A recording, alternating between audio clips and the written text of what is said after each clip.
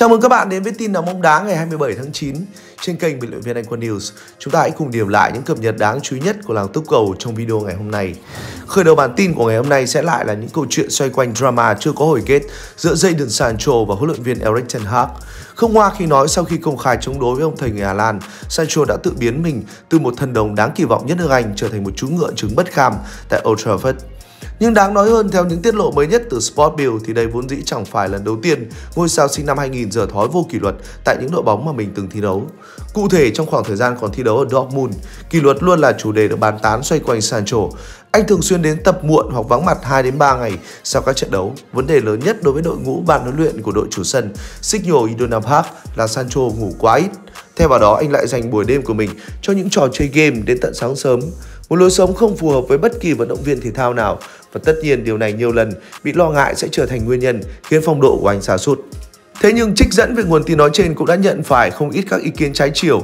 Nhiều người cho rằng điều quan trọng là bất chấp những vấn đề đó, trung quy thì màn trình diễn của anh trong màu áo đội bóng áo vàng đen vẫn không thể chê vào đâu được.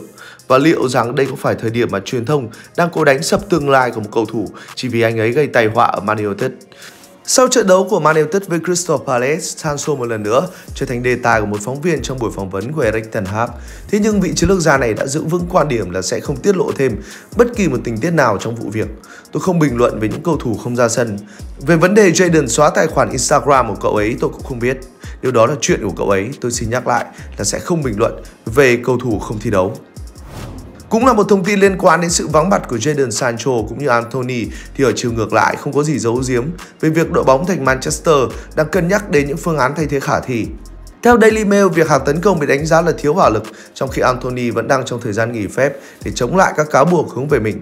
Sancho dường như đã mở toang cánh cửa rời đi và tháng riêng thì huấn luyện viên Erik ten Hag đã bắt đầu đánh giá những sự lựa chọn để củng cố khu vực hành lang cánh và một gương mặt vốn quen thuộc với Ngoại hạng Anh đang là một trong những mục tiêu hàng đầu.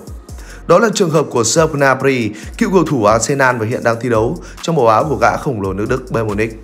Bên cạnh đó, ấn phẩm Nacional của Tây Ban Nha cũng đưa tin rằng Quỷ Đỏ thậm chí sẽ đưa ra động thái chính thức của mình ngay trong những ngày đầu tiên của phiên chợ tháng riêng. Gnabry đã trải qua các cấp độ trẻ của Arsenal nhưng không tạo được các ấn tượng trong ngày đầu tiên thi đấu cho đội bóng Bắc London khi chỉ ra sân 18 trận cho pháo thủ trước khi có thêm 3 trận nữa trong khoảng thời gian cho mượn đáng quên tại West Brom. Tuy nhiên, việc trở lại Đức với Werder Bremen vào năm 2016 và trải qua một mùa giải ấn tượng tại đây đã khiến anh lọt vào tầm ngắm của hùm xám, qua đó chính thức tạo nên một bước ngoặt trong sự nghiệp của đội áo số của mình. Tại Munich, Gnabry đã khẳng định mình là thành viên chủ chốt của đội bóng với 223 lần ra sân và ghi được 82 bàn thắng. Trong khi đó ở cấp độ quốc tế, cầu thủ 28 tuổi cũng đã ghi 22 bàn chỉ sau 42 lần khoác áo cỗ xe tăng Đức và là một trong những nhân tố đã góp mặt tại Euro 2020 và World Cup 2022 vừa rồi. Trên thực tế, huấn luyện viên Erik ten Hag cũng đã được dịp xem trò Gnabry trong trận đấu giữa Man United và Bayern Munich vào giữa tuần trước. Chính cầu thủ sinh năm 1995 là người đã ghi bàn nâng tỷ số 2-0 của trận đấu. Tuy nhiên, thời hạn hợp đồng đến năm 2026 cùng với sự cạnh tranh đến từ Real Madrid sẽ là một thách thức không hề nhỏ của Man United nếu họ thực sự nghiêm túc muốn có được sự phục vụ của Serge Gnabry. Trong trận đấu của Bayern Munich mới đây, Gnabry cũng vừa gặp phải một chấn thương và phải rời sân chỉ sau 11 phút thi đấu. Theo tiết lộ từ Thomas Tuchel, anh sẽ bước vào cuộc phẫu thuật vào ngày mai và dự kiến sẽ nghỉ thi đấu ít nhất vài tuần. Người đại diện của Victor Osimhen đã đưa ra tuyên bố rằng thân chủ của mình hoàn toàn quyền khởi kiện Napoli sau khi một đoạn video nhằm mục đích chế nhạo tiền đạo này được đăng lên trang TikTok chính thức của câu lạc bộ. Nhất là trong bối cảnh tình hình căng thẳng như hiện tại. Trung phong người Nigeria vốn đã cảm thấy khó chịu khi bị camera ghi lại cảnh anh đang đôi co với huấn luyện viên Rudy Garcia ở ngoài đường pitch khi bị thay ra ở những phút cuối trong trận hòa không đều với Bologna. Trận đấu mà anh đã sút hỏng một quả phạt đền. Tưởng chừng như tình hình giữa anh và Garcia đã dịu xuống bởi Osimhen đã chủ động xin lỗi ông thầy người Pháp. Nhưng mới đây một tuyên bố bất ngờ đã được người đại diện của anh, Roberto Calenda, đưa ra. Những gì xảy ra hôm nay trên trang chính của Napoli, trên nền tảng TikTok là không thể chấp nhận được. Một video chế nhạo Victor lần đầu tiên được công khai và sau đó xóa đi, nhưng đã muộn màng. Thực tế là nó đã gây ra thiệt hại rất nghiêm trọng cho cầu thủ và làm tăng thêm sự đối xử mà cậu bé đang phải gánh chịu trong khoảng thời gian vừa qua giữa các phiên tòa xét xử trên phương tiện truyền thông và cũng như các nguồn tin không chính thống. Chúng tôi có quyền thực hiện hành động pháp lý và bất kỳ sáng kiến hữu ích nào để bảo vệ Victor.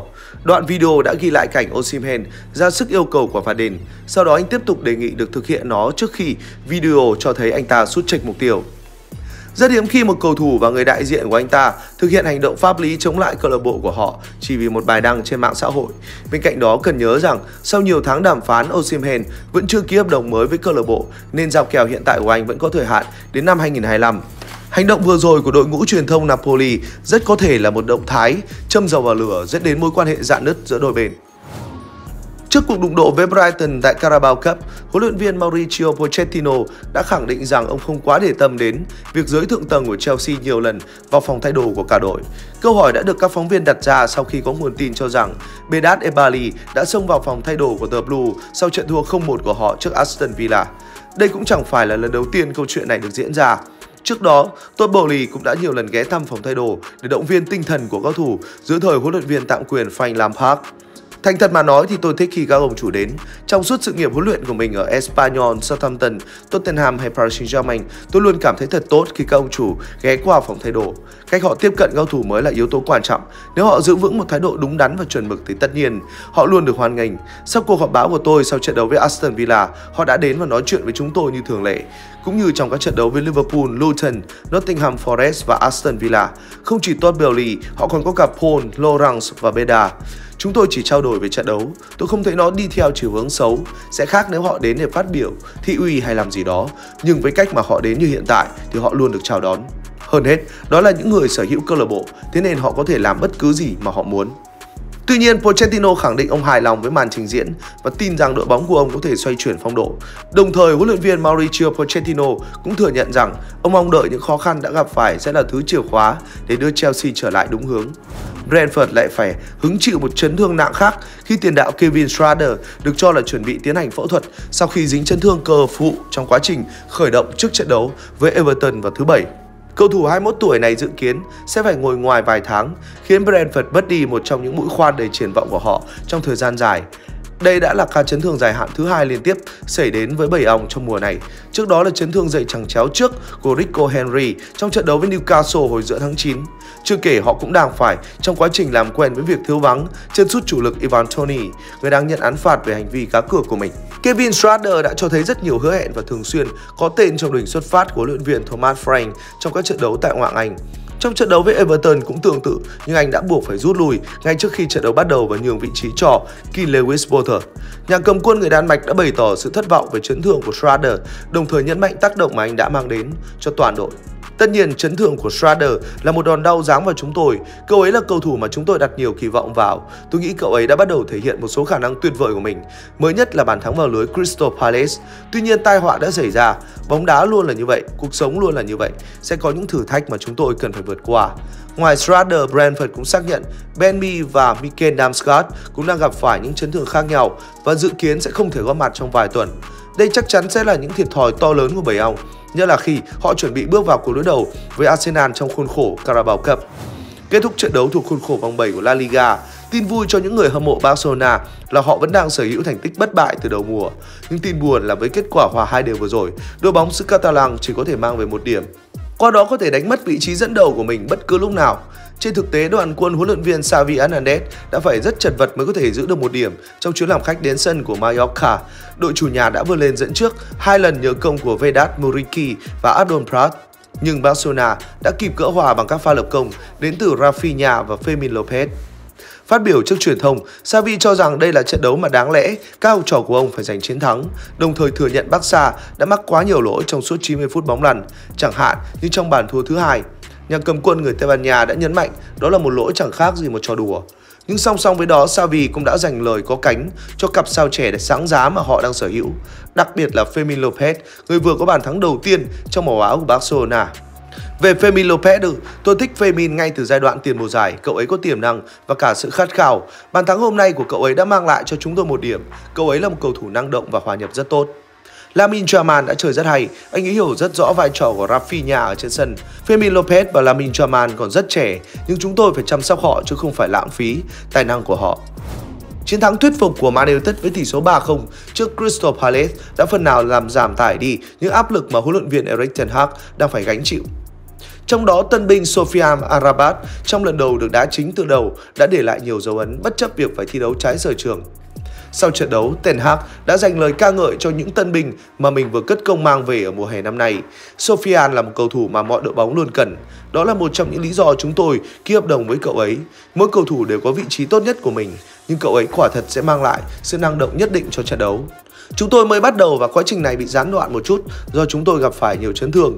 Bạn thấy với Mason Mount và Amrabat, họ có thể đóng góp cho trận đấu và họ sẽ làm được.